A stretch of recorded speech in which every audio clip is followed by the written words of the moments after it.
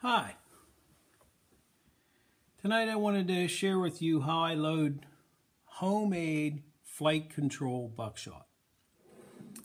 Um, I made a video over at the range shooting some. You could judge the performance for yourself. Uh, I'll post that video too. But I'll show you how I load it. Um, and uh, I'm still developing the loads. But um, I'm getting it to within like 16 inches at 25 yards, which compared to my standard loading of buckshot, um, that's that's fantastic to tell you the truth. Um, it's just the nine pellets of uh, single aught buck in a Winchester double A 12 wad. There's a wad. A wad there. Um, what you use for your buckshot, I don't know, but I got a bunch of these, so I use these for about everything when it comes to shot loads. All right, so now you have your nine pellets, you have them in the wad. All right. This here, this is thread sealant tape. Teflon tape is all this is. You get it in the uh, at Home Depot. It's real thin. It's uh, Teflon and very staticky, as you can tell. But anyway, what I do is I just take it. I mean, with my fat fingers, you might not be able to see exactly what's going on here. But I just start it down the bottom, get it going around, take it around the wad a few times. Well, let's count. That was that was round two, round three, round four. Now right here, you got to be careful. Your shot's going to come out. Go around there like round five. Around like that. Stick your finger on the top, and you just pull on it. Breaks real easy. All right, so then you have your buckshot. You have it in there. See how it's in there? Don't worry about that. Little thing ain't going to bother you. Okay. All right, now my hulls, I condition my hulls uh, so the mouths are nice and round. But uh, you just take it and you load it just like you would. And There's, oh, by the way, there's 19 grains of uh, red dot in here. You might be able to see it down in there with a CCI 209 primer. You just load it like you do a wad slug. You stick it down in there. Just push it down in there. That's about it. Go through your standard crimping processes. Here, I'll crimp this one and then we'll roll up another one. I'll show you another one. Give me a second here. Crimp.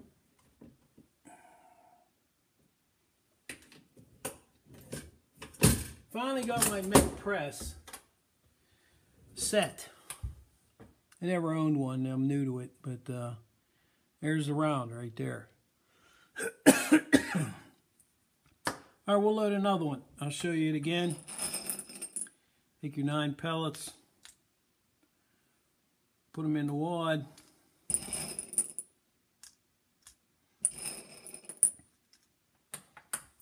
Pellets in the wad. Teflon tape. Um, this stuff is really cheap. If you think, oh, he's using a lot of it. Um, I mean, they actually give it away when they when you buy a faucet or something. Just get it started around there. What I say, I went around there five times to get to the top.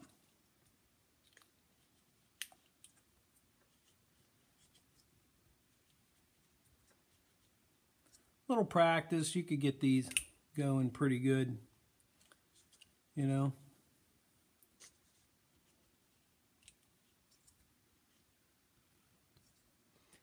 I mean, I found out if I wrap them six times, four times, they all are within, they're all pretty tight. There it is. I know, you think, oh, it looks ugly. But if you're in 16 inches at 25 yards, that's way better than the, uh, you know, than going at it with the uh, regular buckshot because the mica fillers and stuff, they really don't uh, work all that great. Um, they say it keeps the balls from getting banged up and uh, everything like that. Which, I mean, I believe them.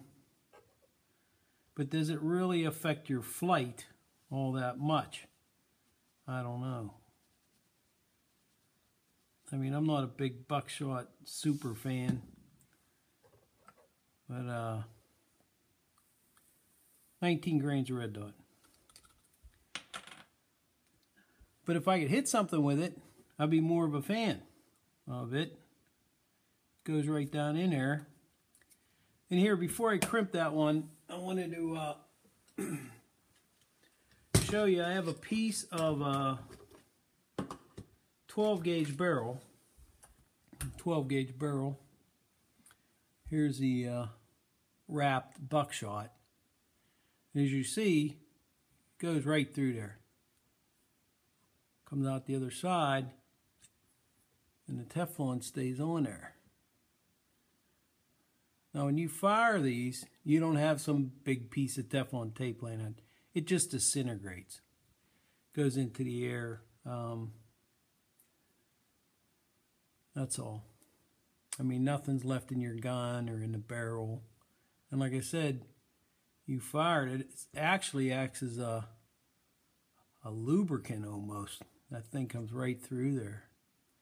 But you do have to wrap them from the bottom up so that your laps are over top of the next one down. And then uh, that's what you got. Here, I'll crimp this last one, show you it.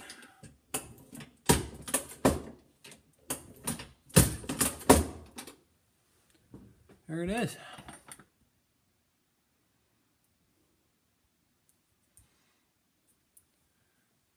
That's it. Thanks for watching the video.